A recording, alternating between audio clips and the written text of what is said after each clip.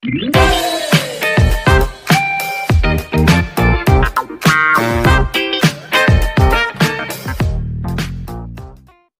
welcome to my online channel.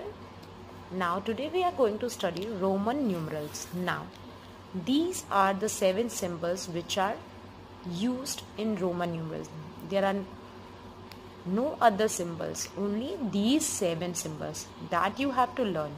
Now I'm going to write the values of these symbols. Now I represents which number? I represents 1. V represent 5. X represent 10. L represents 50. C value is 100. Now D represents 500 and M represents 1000. So these are the seven symbols which you have to use in Roman numerals and now there are some rules. Before going to the addition, subtraction, multiplication, I would like to tell you something very important that is that symbol V, L and D will never be repeated and symbol I, X, C and M can be repeated but not more than 3 times. Only we can repeat any symbols up to 3 places. For example, the number is 300. So what we have to write? C is 100 value. So C, C, C. We can write 3 times. But if we have to write a number 400. So what we will do? We will write D. We will use D and we will write C before this. So if we will write the smaller number in the left side then it means it's subtraction. So just you have to understand that V, L and D never be repeated. Now coming to the rules. First rule is addition. Now in addition what you have to do is for example there is a number like I'm taking this V and 1.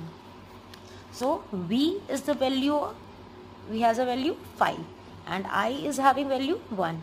So that means 5 plus 1. So that equals to 6. The value of the symbol is 6 and what we are doing adding. Now for example I am taking one more example. Now this is x. So x value is 10 then we have 2 times i. So the value of i is 1 plus 1 that equals to 10 plus 1 plus 1 that is 12. Understood? Now coming to the rule subtraction. In subtraction what happens is like if I'm taking this number. Here in addition when the smaller digit smaller value symbol is at the right place then we add. And when the smaller number is at the left place of a number then we need to subtract. So here it is 1 so we can't write 1 here. So this is v first. We have to write v. That is 5 5 and when it is on the left side so then we have to subtract. So now the value is 4 and now let's take one more example. Mm, I'm taking this. Now here again this is smaller number. It is having smaller value. So we have to subtract. So value of x is 10 minus 1 that equals to 9 now the next rule is multiplication.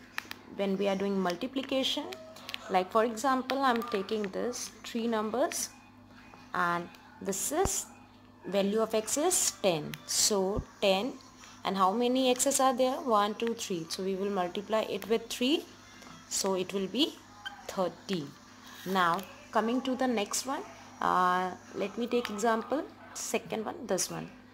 I've taken C C value is 100 and there are two C's so we will multiply two times. So it will be 200 in this way you can do the questions and remember one thing V L D will never repeat and I, X, C, M can be repeated but only three times, not more than three times. I hope you have understood.